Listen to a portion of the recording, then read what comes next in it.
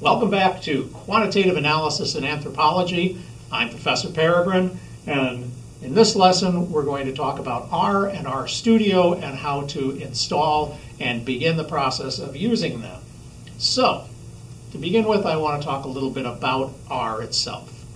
R is a powerful statistics package that is open source, meaning that the underlying code from which the program runs is open to the public and researchers to program, and it's free. Uh, because it's both open source and free, it has become a very widely used program. And again, for that reason, there is now an enormous library of add on packages for R.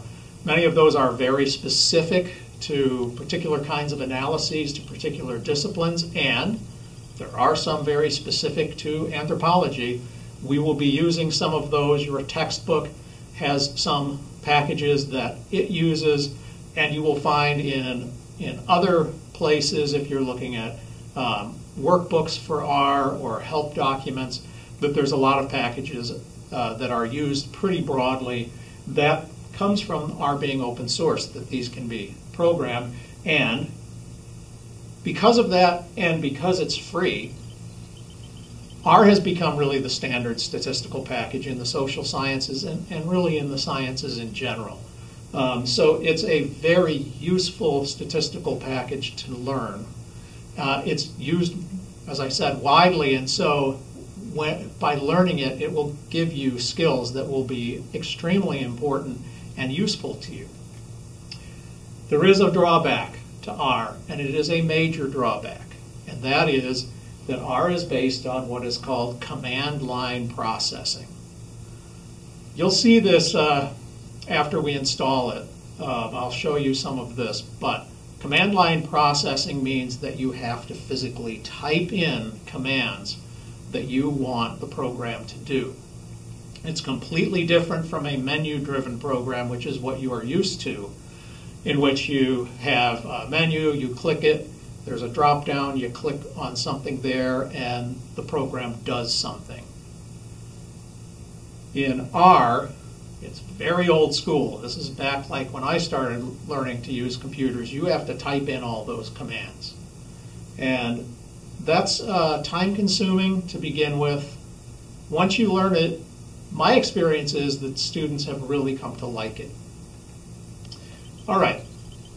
So I'm going to go over to the computer now and I'm going to show you how to download and install R and give you a little sense of how it works. Okay, so I'm going to show you how to download and install R. This is on Windows computer. you may um, be using a Mac computer. And if you are, I'm sorry about that, but I can't help you too much with the Macs. But anyway, I'm going to start off in Google. You can um, use something else if you want to. And I'm going to just type in CRAN R. And CRAN R is the site that hosts the comprehensive R network archive. See, CRAN. Um, and this is where all of the R material can be found. We'll go there. This is the opening page. And along the left are going to be things you may want to use later. We'll talk about them, particularly manuals and packages. But for right now, what we're interested in is this, download and install R. There are different versions of R for Linux, for Macs, and for Windows. And as I said, if you are a Mac user, I can't help you, but I can show you how this is done for Windows. And it should be quite similar for Macs. All right. We're going to install just the base program. There are programs for contributors and for builders of R. We're just going to install the base. And here it is and we are downloading it fairly quickly. It's not that large of a program. As we're waiting, I can tell you a little bit about R. Um, it is a programming language that has been adapted for the use uh, for, for this particular program. And here we are. We can open this and we will get a little install thingy. And it's on another page. I'm going to move this over here. There we go. Uh, I want to install it in English. Kind of move this over again. Uh, this is the license. I'm going to install it in that location. Uh, please specify, do you want to customize? No, I do not.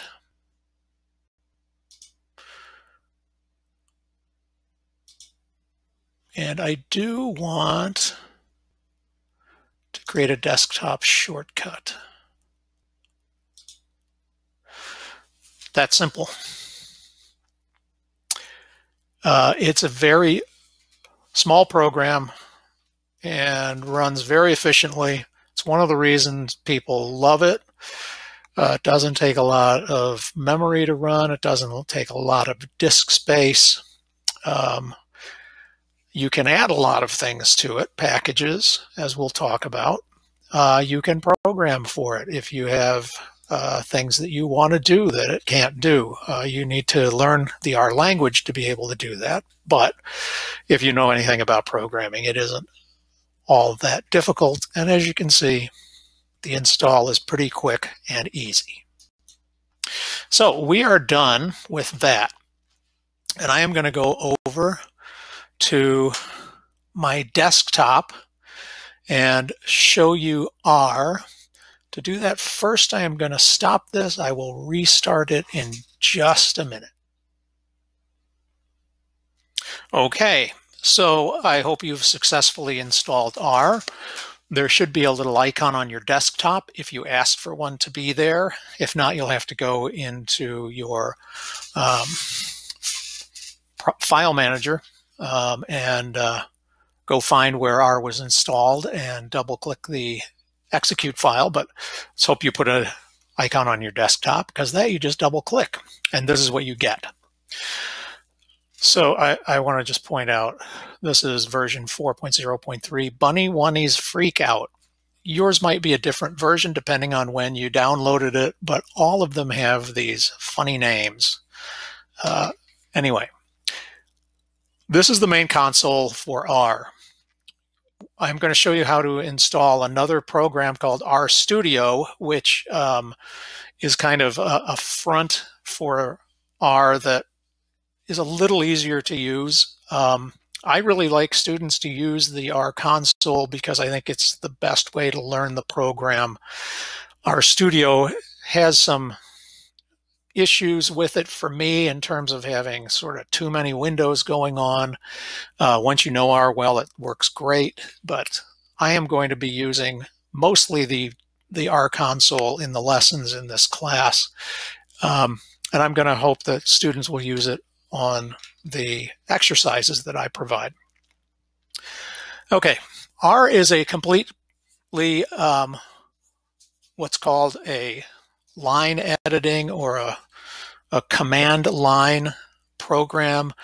Uh, it does not use windows or drop down menus. What you see up here uh, are just some basic things that really don't do much in terms of, of doing the kinds of statistics we're going to be doing. All of that you type into a command line here, either in this program or in RStudio. And so I'm going to just show you this a little bit by starting off, and I'm going to create a file called Boas. And that is Franz Boas, father of American anthropology. We're going to talk about Boas and other anthropologists in this course. I'm going to create that file, and this little arrow says I am going to create Boas by uh, reading a table. These are commands built into R. You will be learning these. Um, normally, I would type in the name of the file that that I'm reading, but here I'm going to do a little cheat command because that's going to bring up the File Explorer at some point. There we go. And I am going to go down here to a file that's called immigrants, and I'm going to open that. Okay, that's been read and opened. All right, this file is, attach it, and you'll learn why I do that too. This file is data from Franz Boas's study of immigrants to the United States. And we'll again be talking about these things. It's one of the most uh, important studies in American anthropology. It put the final nails in the coffin of race theory. Uh, we'll talk about that. Also, many of the statistics you are going to learn uh, were actually invented or developed by anthropologists. Uh, Francis Galton, Karl Pearson, uh, R.A. Fisher were all anthropologists, physical anthropologists, and geneticists who were working on eugenics.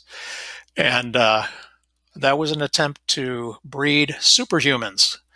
Yes, it's exactly what I said. And we will be talking about this later. Uh, Boas did this study of immigrants to show that many of the ideas that underlie uh, the, the race theory uh, that they were proposing did not work. But again, we'll talk about that later.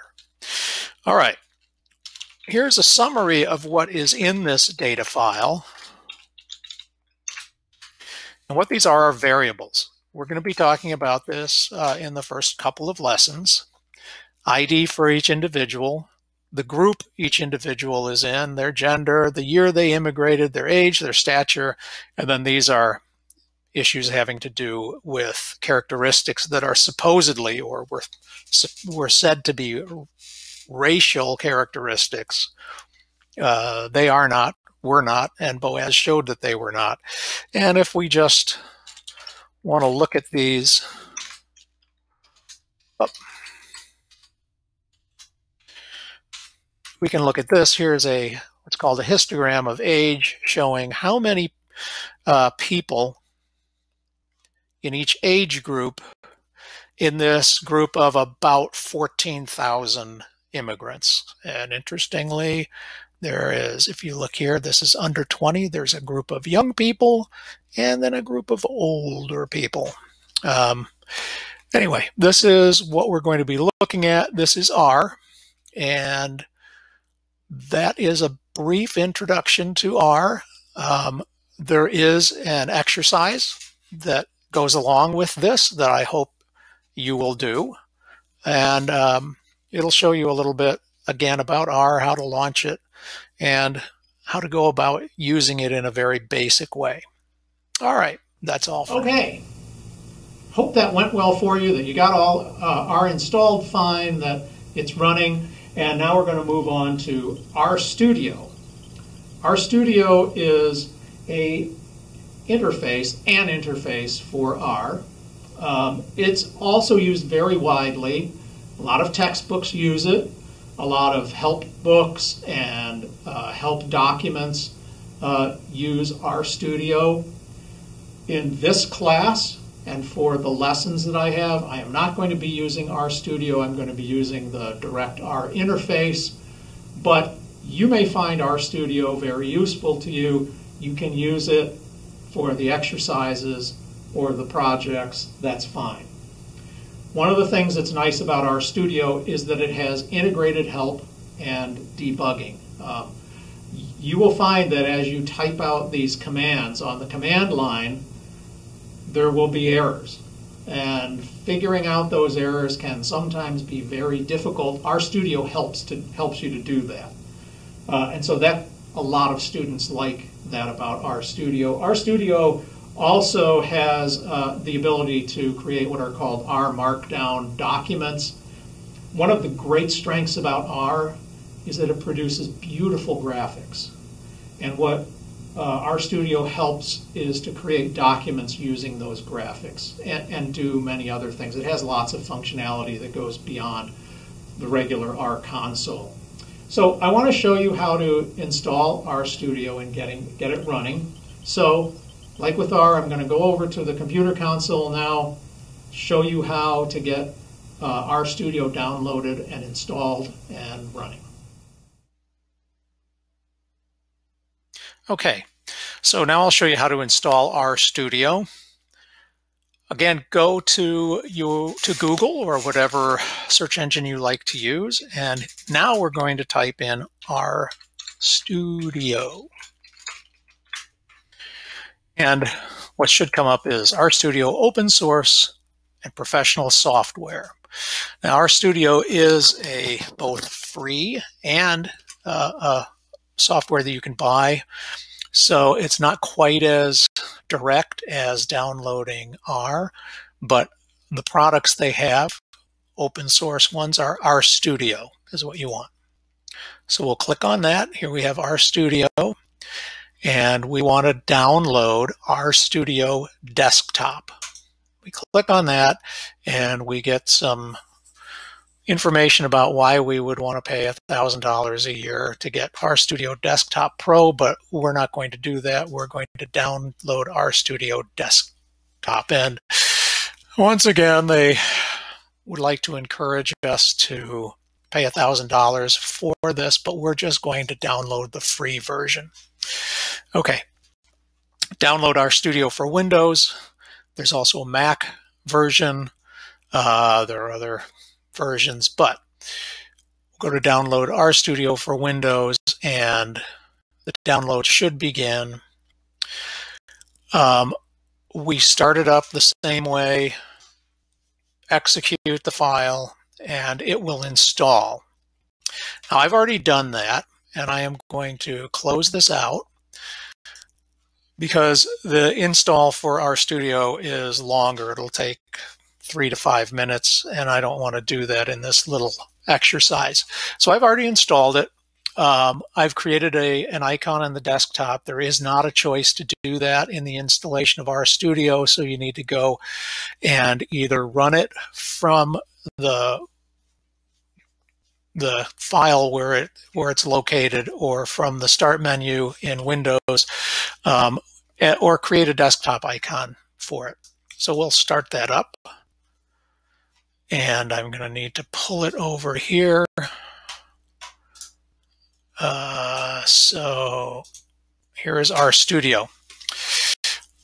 You might notice that this looks just like the R console that we saw before in the base version of R.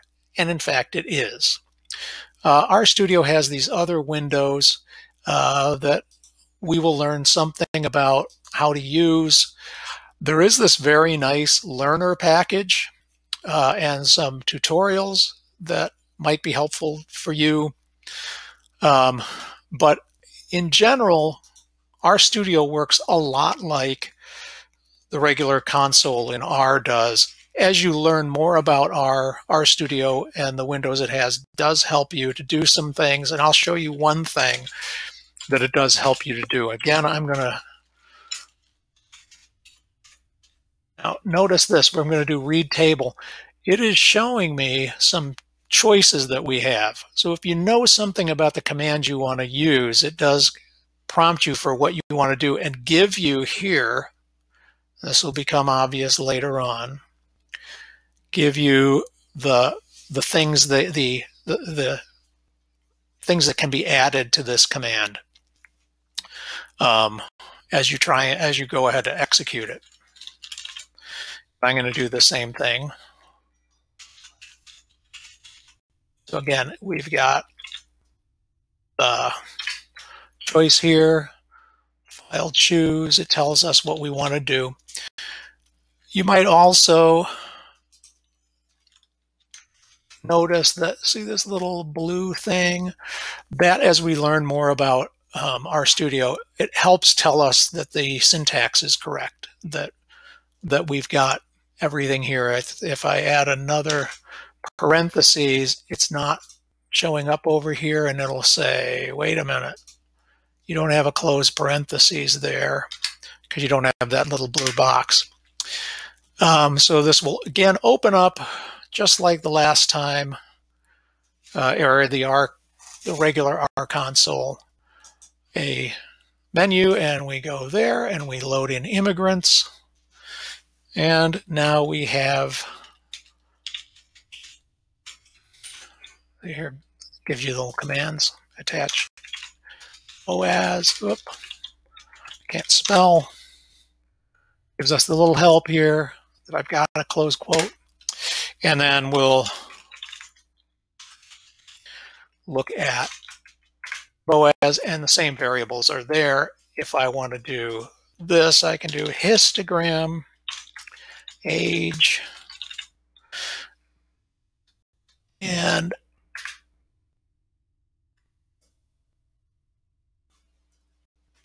we are not getting anything. Why is that? Oh, because I'm not there. There we go. And here in a new window is the histogram that we saw before of age. So very similar to the console. And again, I, I like just using the console directly. Um, there are some very nice things about RStudio we'll learn about uh, as we go through the course. And so that's all I've got for you now. Okay. Well, I hope that went well, that you got RStudio going and that now you're all ready to move forward and start with the R exercises. There is a simple introduction to R that um, gives you sort of the basic tools to start up R, to load in some data, to do a little bit of analysis. And then you can start off on the regular exercises uh, for this course. And in the next lesson, we'll be starting the course talking about levels of measurement. We'll see you then.